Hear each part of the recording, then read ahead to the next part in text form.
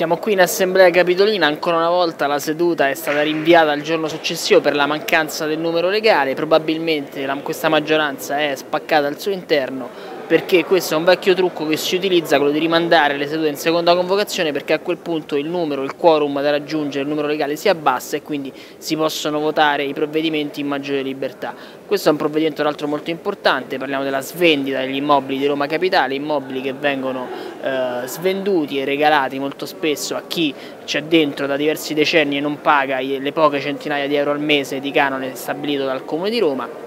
e quindi per questi motivi e soprattutto per il fatto che vendere il proprio patrimonio in un momento di crisi anziché valorizzarlo, anziché metterlo a reddito dal nostro punto di vista è un qualcosa che non si tiene in piedi, quanto più se si giustifica questa, questo aspetto per pagare i servizi, i servizi devono essere pagati riducendo gli sprechi di questa amministrazione che ci sono e ci sono ancora ad oggi, basta pensare ai 240 mila euro l'anno che percepisce il Presidente e amministratore delegato di risorse per Roma.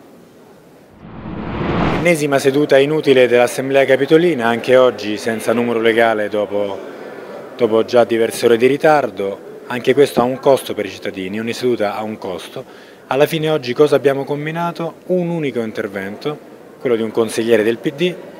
tutto concentrato su noi quattro,